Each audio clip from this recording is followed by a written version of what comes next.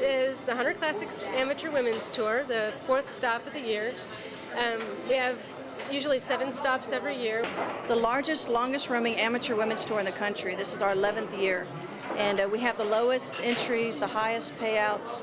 Uh, we have people come from all over the, actually all over the world. We, The Hunter Tour is a stepping stone to be able to become a professional player. Bonnie Plowman. I'm from Calgary. Been playing pool about nine years, and uh, just want to get involved in WPBA, which is hard to do from from Canada. We only have a couple qualifiers a year, so I'm making some road trips. How did you feel coming into this tournament? Well, I'm nervous. It's my first event, and I've kind of been low key, so not a lot of people are going to know I'm in town. So I want to do well, of course, but I'm nervous. They actually call me the Florida Flash. Oh, the Florida Yeah, there you Flash. That is go. always, and you know, from the shirt, I can definitely tell why. Yes, exactly. There you That's go. right. That is brilliant. There you go. Do you I'm use that as part of your strategy in any way, shape, or form? Well, yeah, actually I do because I um I got the nickname from Buddy Hall, who's a world uh, world class pool player. He's won many world Oh, yeah, championships. he's signed my case. Exactly. You know who Buddy Hall is. When I was uh, 17, I would run around the pool hall and I'd had hair down to my waist and I would not have my shoes on. I didn't like shoes, but I had these wild socks. So one day he looks at me and he says, Hey, Flash, where are you from? And I said, Florida. And he goes, You're the Florida Flash. And ever since then, when I play, I want to embody that spirit. You I know? can almost hear Buddy Hall through you. Yeah, he does. He, he says that I belong on a haystack somewhere, but that's okay. I love him for that. You know. You know, I got to see Willie Mosconi and Willie Hoppe, and I got to see all the really, really good old time players. That's awesome. You know, like I said, I played the Not game for about three years. Yeah, and then I then I went on a different path in life. You know, but this is this is a path that I that, that my spirit wanted to be on. Leslie Ann Rogers from Arlington, Texas. With a husband whose name is also. Also Leslie, also Leslie Rogers, and uh, together with uh, Randy Goettlicher, we own and operate QTech uh, Billiards Academy in Dallas. Is there anybody else that uh, you two are really looking at to be high competitors in this tournament? In this tournament, actually, there's several. Uh, Rachel Hurst from Austin always always competes well. Uh, we have a player from Florida, uh, Ellen Van Buren, and one I think from Canada, Bonnie Plowman, who's Okay. a very strong competitor. She's not played in any hunter events before, so we're we're kind of looking forward to see how she'll do in right. this tournament. Um, I think uh, a little bit of nerves got to me. Started missing balls. I don't mind missing balls every once in a while, but I did it a lot. Key is just not to get down on yourself. I'm famous for being hard on myself, so I'm trying to take things a little lighter and just forget about it. Just move on. I mean, people win tournaments all the time, never losing a match. So I just have to not lose a match. This is my my uh, fifth year of coming back to playing pool. I played 28 years ago. Like before you guys, before they had video cameras, I was playing pool.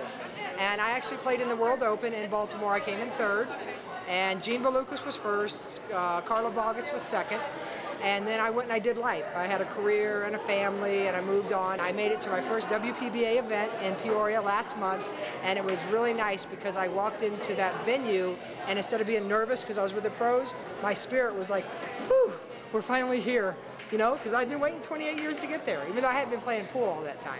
It was in 99 or 2000 I won the Canadian 8 Ball Championship, which is one of the qualifiers that Canada gets. And I was uh, luckily, luckily enough that that year they had a lot of sponsors, so they actually flew me down from Toronto to the event and paid all my entries. It was it was quite a big prize. The second year when I won, the, one of the sponsors had dropped out, so uh, I didn't end up going. It was way too expensive. Pros, that's what they do. Their job is to play pool. They play pool for 10, 12 hours a day like it's their job. They get up in the morning, they go and play pool. We were talking, and we weren't talking about making shots. We were talking about why I play. Like you asked me yesterday, mm-hmm. what's the motivation? Mm-hmm. And for me, it was that dream that I thought I had lost. You know, when I was 17, I told you I came in third in the World Open and then quit playing. You know, and so for me, it's just the pure love of the game. You know, and yeah, and especially because this is really important. This qualifier is in my home state, and it's you know it's it's uh, it's it's run and operated by my sponsors, and I would just love to go and be able to to represent them, the Seminole Tribe of Florida there. Just got done with your last match. Went Hill Hill. Yep. Who was that against? Stacy Jackman. Stacy Jackman. is another strong contender. Yeah, she double dipped me. She beat me yesterday too on the hill. So I felt really good actually today. Felt really good today, but I made a few more mistakes than she did. I had tons of chances and yeah, unfortunately, it came down to one lucky shot that was a decider. So it was a good match, though. And what place did you get? Fifth, sixth. When I was a kid, my first pro tournament, I asked him, you know, would you please go and watch me play? And he said, no way. Those women would have to be naked before I'd come watch them play. Oh wow. Because the only reason why he said that is because I wasn't ready. And so uh, eight years go by, and I guess I'm ready now. Who are you looking at in this final eight? Uh, well, considering I've helped Julia Gabriel, uh, we worked out for about six and a half hours two days ago. So, and I feel like I helped her a little bit with their game. So, that's who I'm. I'm thinking is going to win it. Feeling kind of kind of riled up still? Oh yeah, So a little you- shaky. you gotta take a little bit of Little time. Too much adrenaline. Are they going to let you get a little bit of time? I'll probably have about five minutes, maybe ten if I'm lucky, before they start the finals. Um, you know, time to maybe have a bite to eat. Julia and Ellen were the last two in who had paid for the qualifier, and so Ellen being out of it means that Julia has it automatically, no matter the result of the final match. That's awesome. So Julia Gabriel is going to the WPBA. She's going to Hollywood, Florida in September. I've been focusing on discipline, making sure I watch where the ball is supposed to go and watching the, the ball I have to make go into the pocket. Yeah, I've won events before, though. Don't get me wrong. I've competed for 10 years, won a lot on bar boxes.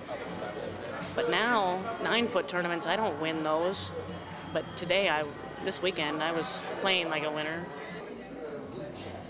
Okay, so now we have the competitor here.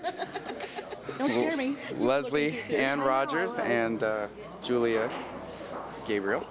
And uh, Leslie, any closing words? Grrr. That's a big word. It is. It is. It's a long one. Um, you know, we both shot well. We both made some mistakes. Um, she was able to capitalize off my mistakes a little bit more. She's been a champion for years on this tour, and I've never beaten Still her. am. Still am. I'm hanging on to that points lead.